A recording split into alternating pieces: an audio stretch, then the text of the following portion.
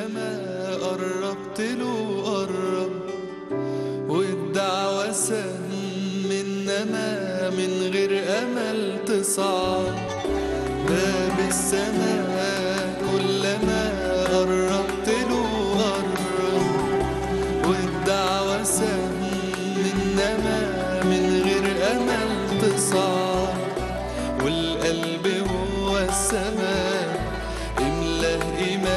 بالله واقصد كريم تلقاه هو اللي بيقرب.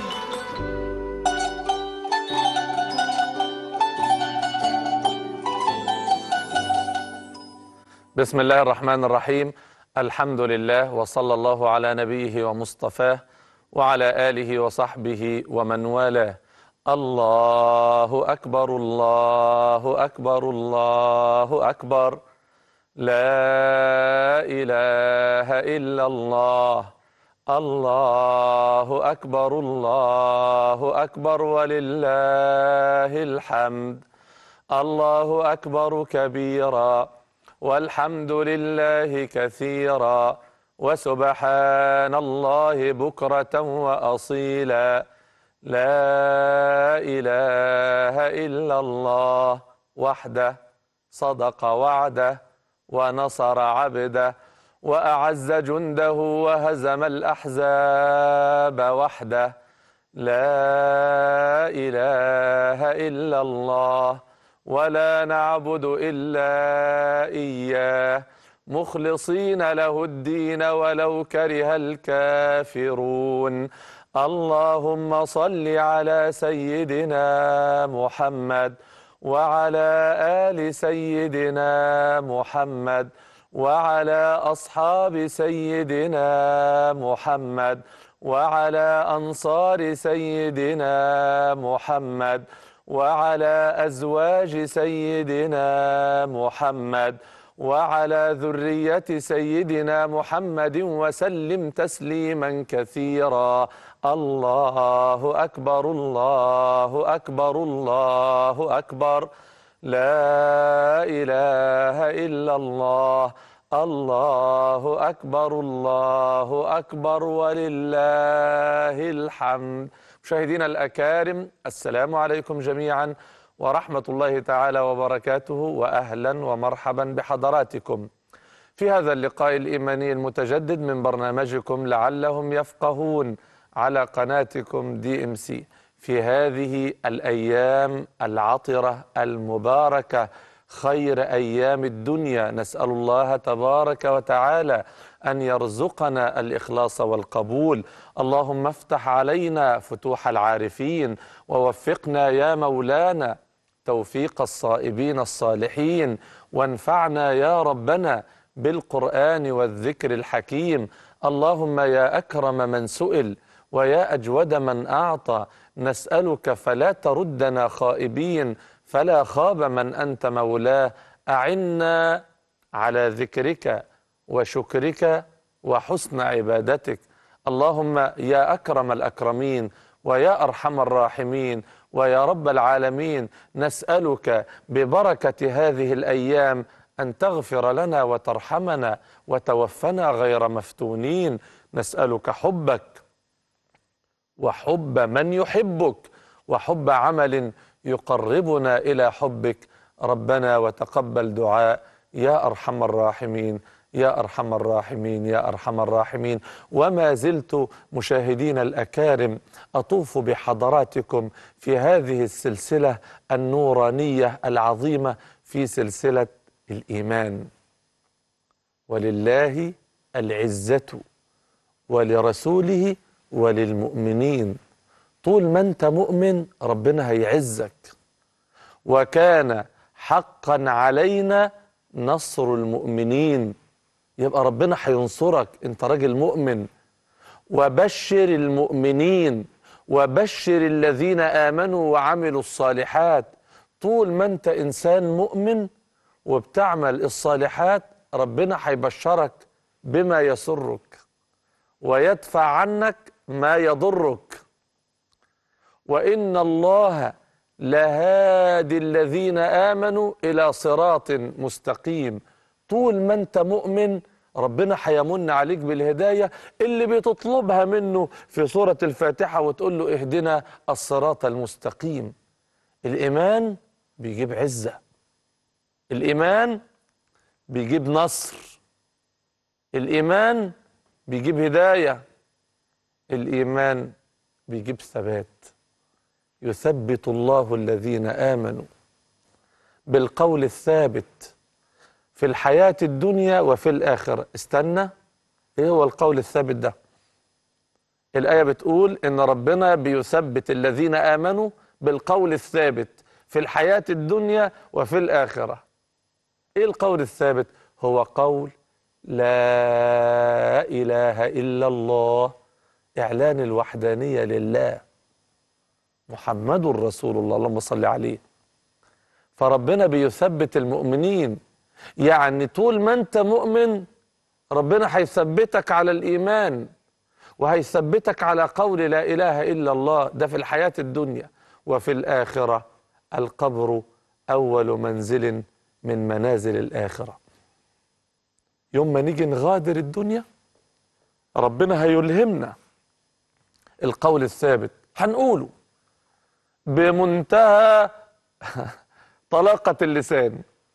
هيجي ملك الموت عشان يقبض الروح هت- هتلاقي نفسك ربنا يعطيك الصحة والعافية ويبارك في عمرك. بس لما تيجي اللحظة كلنا هتجيلنا اللحظة ديت قل يتوفاكم ملك الموت. ساعتها هتلاقي نفسك كده تقول أشهد أن لا إله إلا الله وأشهد أن محمد رسول الله وتغادر الدنيا على الشهادة فتروح الجنة. مين اللي ثبتك؟ ربنا. وثبتك ليه؟ لأنك إنسان مؤمن. دائما تسعى لتحقيق الإيمان. ولما نروح بقى الآخرة والقبر أول منزل من منازل الآخرة ويأتي الملكان عشان يسألان العبد في قبره فهتلاقي المؤمن بقى الملكين يقولوا له من ربك؟ حيث التثبيت بقى يقول ربي الله حقا ومحمد نبي صدقا وديني الإسلام والكعبة قبلتي ما شاء الله بيسترسل لأنه عاش مؤمن. شوف هيجوا الملكين في القبر يقولوا له من ربك؟ يقول لهم ربي الله حقا ومحمد النبي صدقا وديني الإسلام. والكعبة قبلتي والقرآن إمامي. وأنا عشت ومت على قول لا إله إلا الله. محمد رسول الله. اللهم اجعلنا منهم يا رب. الإيمان يا حضرات. إذا نحن نسعى في هذه السلسلة المباركة إلى تحقيق الإيمان. حلو قوي النهاردة بمشيئة الله تبارك وتعالى عايزين نتعرض لثمرة جميلة قوي من ثمرات الإيمان. وخصلة من خصال المؤمنين. وصفة من صفاتهم مش من صفاتهم من أهم صفات المؤمنين. مش النبي قال الإيمان بضع وسبعون شعبة أو بضع وستون شعبة؟ النهاردة مع شعبة هامة من شعب الإيمان. يا سعدنا يا هنانا لو الشعبة ديت موجودة عندنا وحققناها. والله والله الذي لا إله غيره. تضمن تضمن سعادتك دنيا وآخرة. خلونا نطلع لفاصل ونرجع لكم بعد الفاصل بمشيئة الله. نعرف إيه هي الشعبة العظيمة دي من شعب الإيمان. جت في صدر سورة جميلة وعظيمة سورة مدنية من صور القرآن. وربنا بيتكلم عن المؤمنين جاب لنا الصفة ديت بعد ذلك الفاصل بمشيئة الله تبارك وتعالى. ابقوا معنا جزاكم الله خيرا.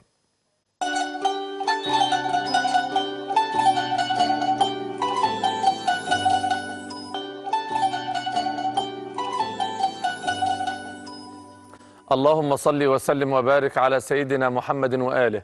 الله أكبر الله أكبر الله أكبر. لا إله إلا الله. الله أكبر الله أكبر. ولله الحمد. مشاهدينا الكرام أجدد لحضراتكم التحية. مع شعبة عظيمة من شعب الإيمان. هتلاقي دي حضرتك جاء الحديث عنها في تاني آية في سورة الأنفال. شعبة عظيمة من شعب الإيمان. ربنا سبحانه وتعالى بيكلم المؤمنين اللي كانوا مع النبي كمان في غزوة بدر.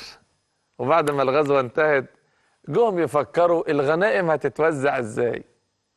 فربنا قال يسألونك عن الأنفال. قل الأنفال لله والرسول ملكوش دعوة بالتوزيع. فاتقوا الله. وأصلحوا ذات بينكم. ما تزعلوش من بعض وما تخلوش الدنيا تفرق ما بينكم. وأطيعوا الله ورسوله إن كنتم مؤمنين. حلو قوي. طب إحنا مؤمنين يا رب. إيه صفات المؤمنين؟ قال لي بقى إنما المؤمنون الذين إذا ذكر الله وجلت قلوبهم. أمام حضراتكم اهي على الشاشة. الله إنما المؤمنون الذين إذا ذكر الله وجلت قلوبهم. إيه وجل القلب؟ القلب بيهتز وبيخاف وبيضطرب عند ذكر الله عز وجل. عارف عمر بن الخطاب؟ واقف مرة هو واحد صاحبه. فمر عليهم رجل قال له اتق الله يا عمر. فاللي واقف جنب عمر بيقول له أنت إزاي تقول لامير المؤمنين كده؟ حد يقول لامير المؤمنين اتق الله؟ فعمر بن الخطاب رد وقال له دعه خليه يقولها.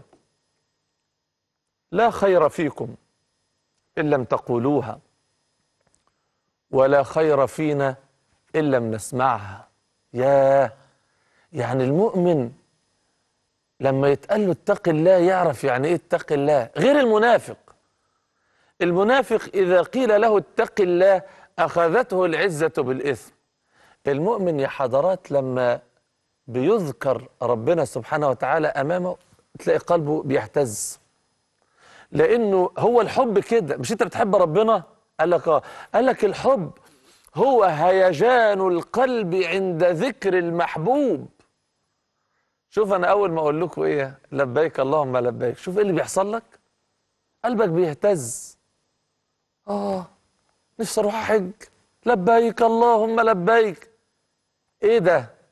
شوف لما بتفتح التلفزيون مثلا وتيجي على قناة كده وجايب لك المسجد النبوي والروضة الشريفة شوف إيه اللي بيحصل لك.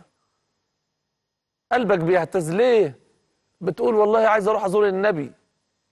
لما بتشوف الكعبة قال فاجعل افئده من الناس مش كل الناس أفئدة من الناس تهوي إليهم.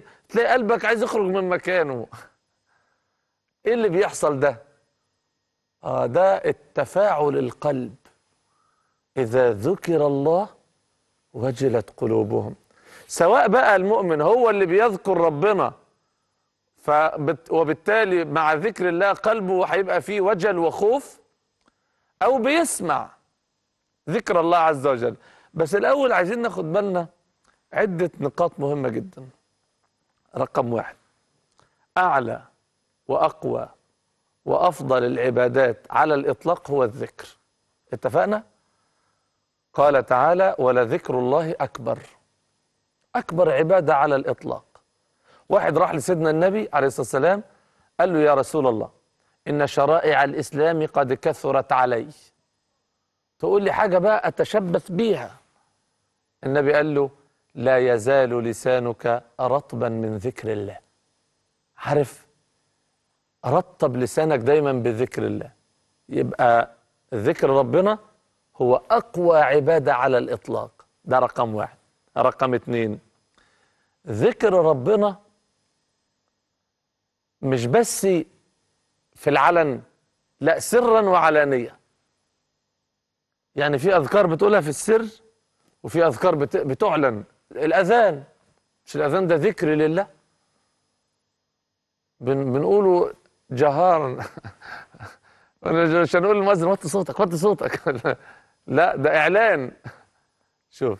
التلبية. تخيلوا يا حضرات النبي عليه الصلاة والسلام قال كده. قال خير الحج العج والثج. إيه إيه الكلمتين الصعبين دول؟ طب الثج نبدأ بيها. مش انت بتقرأ في القرآن في سورة ال- النبأ وأنزلنا من المعصرات ماء؟ ها ثجاجة ثجاجة يعني مية نازلة كتير كتير كتير. أيوة. إيه الثج ده؟ خير الحج العج والثج. الثج اللي هو ذبح الهدي. الناس هناك بتذبح بقى. انت عندك مليون حج ولا 2 مليون؟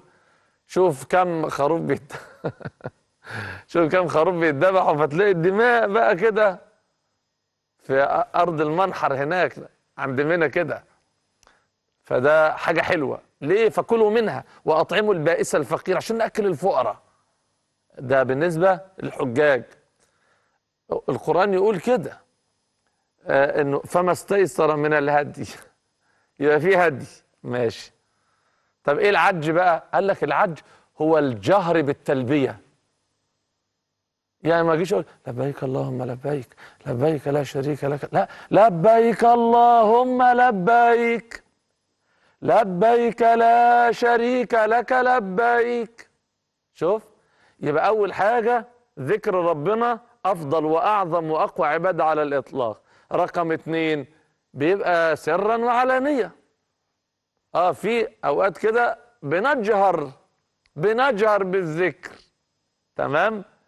وأحيانا يبقى فرادى وجماعات. ممكن اذكر ربنا وأنا قاعد لوحدي بقرأ قرآن وبسبح. وممكن نذكر ربنا جماعة.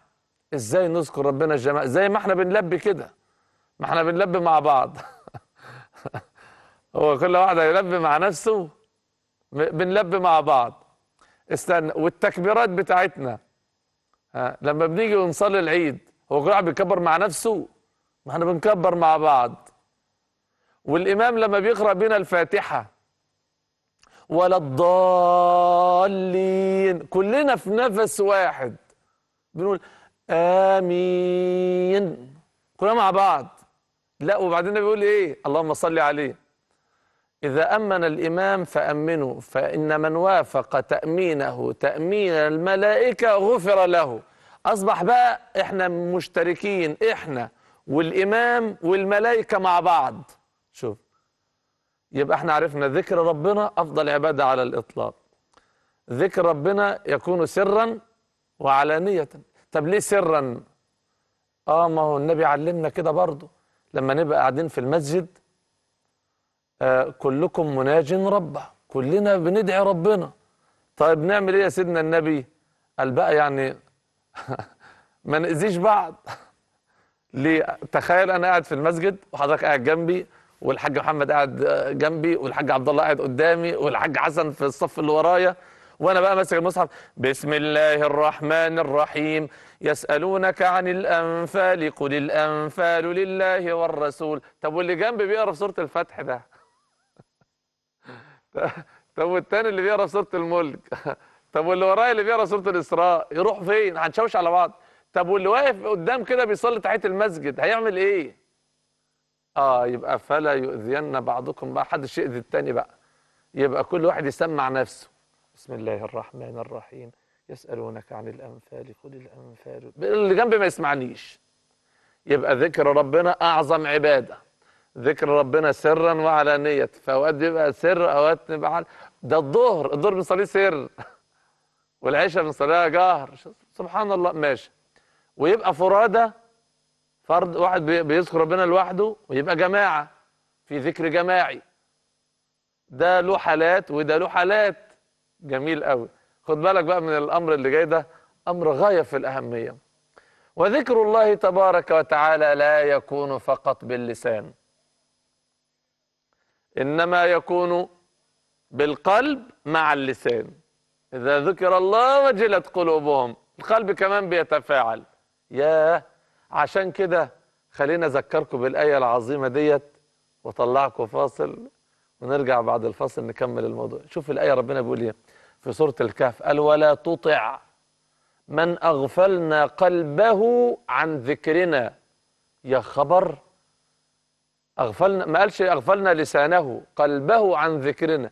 يبقى القلب لازم وحتما وضروري يذكر ربنا. لازم وانت بتقرأ قرآن قلبك يتفاعل مع اللي انت بتقراه. إنما المؤمنون الذين إذا ذكر الله وجلت قلوبهم. اللهم اجعلنا منهم. ألتقي بحضراتكم بمشيئة الله تبارك وتعالى. بعد ذلك الفاصل. ابقوا معنا. جعلني الله وإياكم من الذاكرين.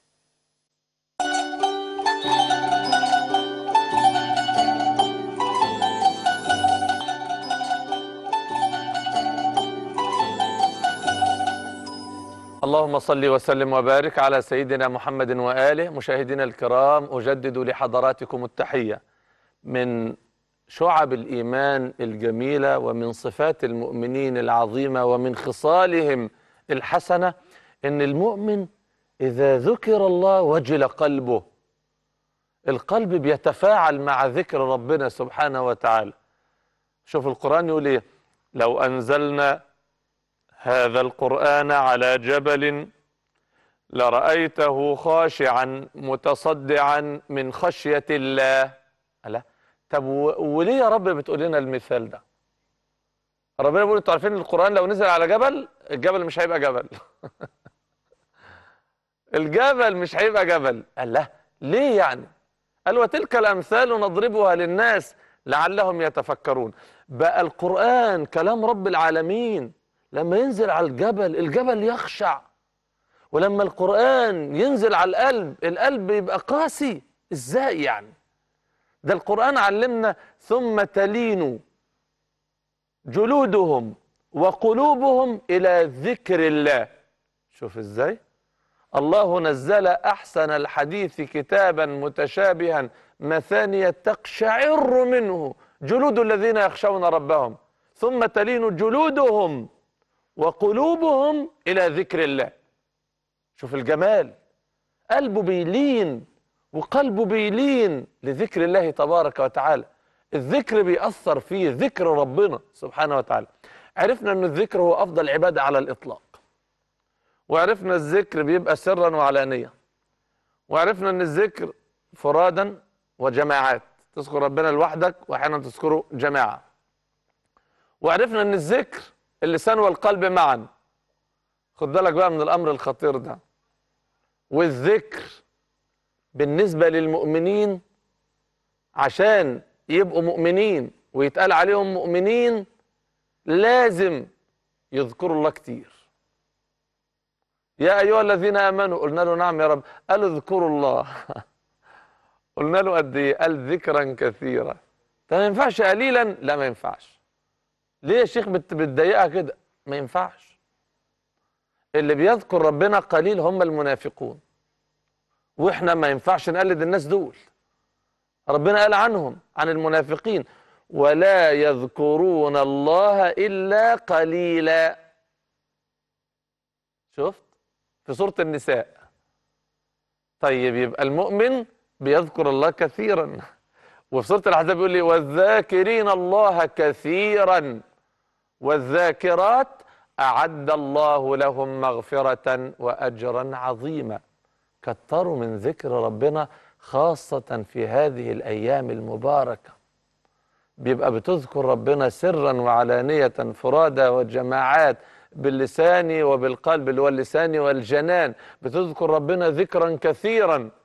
أقول لحضرتك على حاجة عجيبة قوي. إيه الحالة اللي تبقى أصعب حالة على حالة على الإنسان أو أصعب حالات الإنسان. ربنا يكفينا الشر عند الخوف عند القتال عند الحروب. اللهم جنبنا يا رب جنبنا الحروب وويلات الحروب.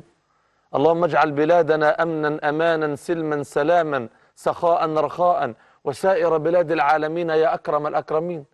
تخيلوا ربنا بيقول للمؤمنين بيقول لهم يا أيها الذين آمنوا. قلنا له نعم يا رب. قال إذا لقيتم فئة زي ما كان عندنا حرب التحرير زمان في 73 العاشر من رمضان حرب أكتوبر.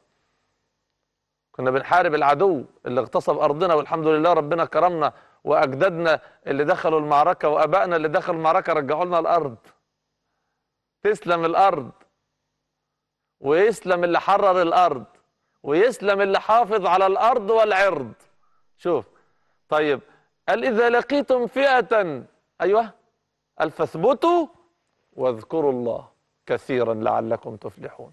عشان كده والله ربنا كرمنا ونصرنا والله. عشان جنودنا البواسل جنودنا البواسل كانوا في رمضان وكانوا صايمين وكانوا عمالين الله أكبر. الله أكبر يذكروا ربنا. شفت؟ يعني بيقول لك بيقول بيقول في الحرب اذكروا ربنا. أمال في السلم نعمل إيه؟ إذا لقيتم فئة فاثبتوا واذكروا الله. وبرضو الكثيرا. هتلاقي إن الذكر بالنسبة للمؤمنين وصف بالكثرة. يبقى لازم نذكر ربنا إيه؟ كثيرا. جميل. يبقى عرفنا إنما المؤمنون الذين إذا ذكر الله وجلت قلوبهم. طيب. انت هتذكر ربنا وقلبك هيتفاعل. وإذا ذكر الله لازم قلبك برضه يتفاعل. النبي اللهم صل عليه. ربنا قال له وإنك لتلقى القرآن. النبي بيتلقى القرآن من مين يا حضرات؟ من الوحي. وممكن يتلقاه من ربنا مباشرة بلا واسطة. بلا وحي. يعني ممكن جبريل ينزل بالآيات أو النبي يتلقى الآيات من ربنا أو يتلقى الوحي من ربنا مباشرة بلا واسطة بلا جبريل. جميل قوي يبقى نقدر نقول كده النبي سمع القرآن. سمع القرآن من جبريل؟ آه. طيب. طب سمع من ربنا؟ طبعا. طب ما سيدنا موسى سمع من ربنا. وكلم الله موسى. قلنا له كلمه كلمه. كل يعني ربنا كلم سيدنا موسى كلام كلام كده مباشر. قال وكلم الله موسى تكليما. واضح أهو. طيب سؤال بقى. اللي سمع القرآن أو تلقى القرآن من ربنا وتلقى القرآن من جبريل سمع القرآن من جبريل تفتكروا يسمعوا من حد تاني؟ طب لو سمعوا يعني إيه لا إذا كان سمعوا من جبريل. تخيلوا بقى لما النبي يجيب الصحابة كده يقعدوا قدامه ويقول له اقرأ. يقول له نعم يا رسول الله. يقول له إيه اقرا اقرأ. اقرأ قرآن. يقول له أقرأ وعليك أنزل. يعني ده القرآن نزل عليك أنت. أنا اللي أقرأه عشان أنت تسمع. فالنبي يقول إيه؟ إني أحب أن أسمعه من غيري. فأنت لما تسمع ذكر ربنا بتتفاعل مع ذكر ربنا.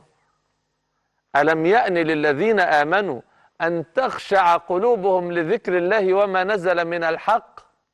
ولا يكونوا كالذين أوتوا الكتاب من قبل فطال عليهم الأمد فقست قلوبهم قال وكثير منهم فاسقون لأنه في قليل صالحون.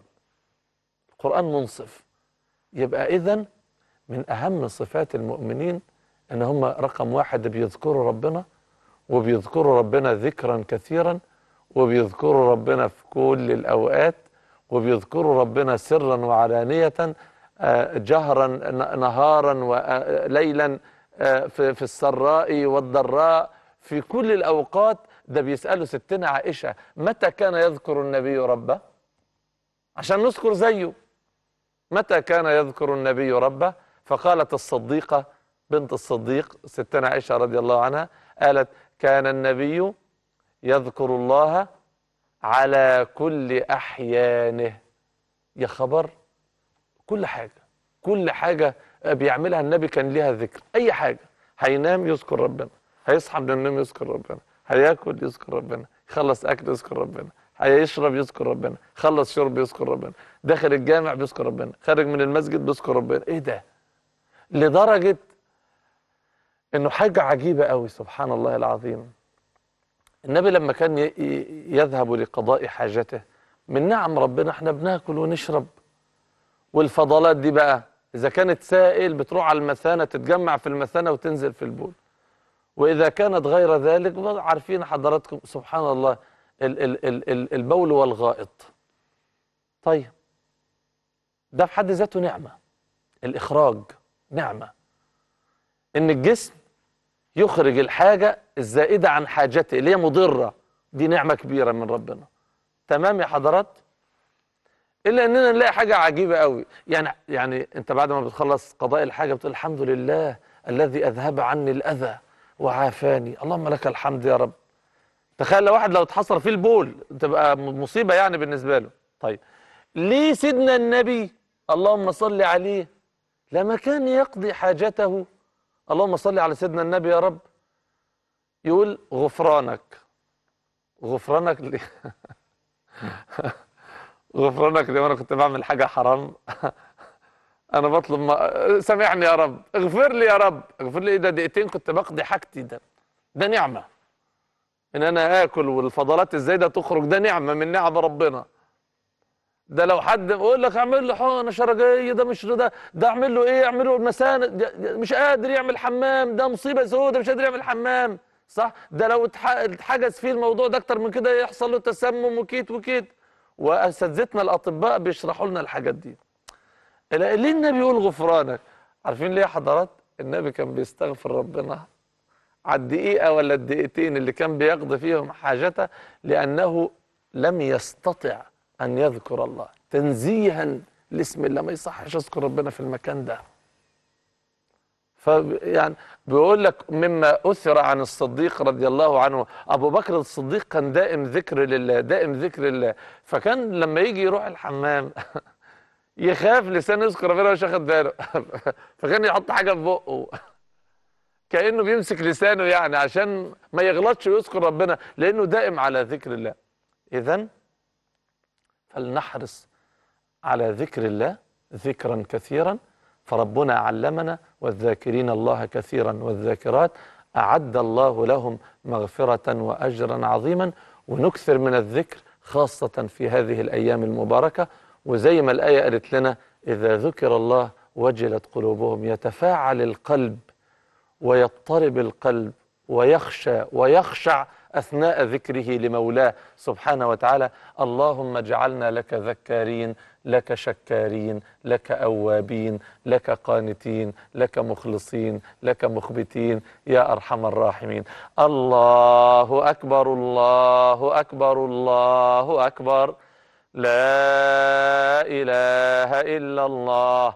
الله أكبر الله أكبر ولله الحمد.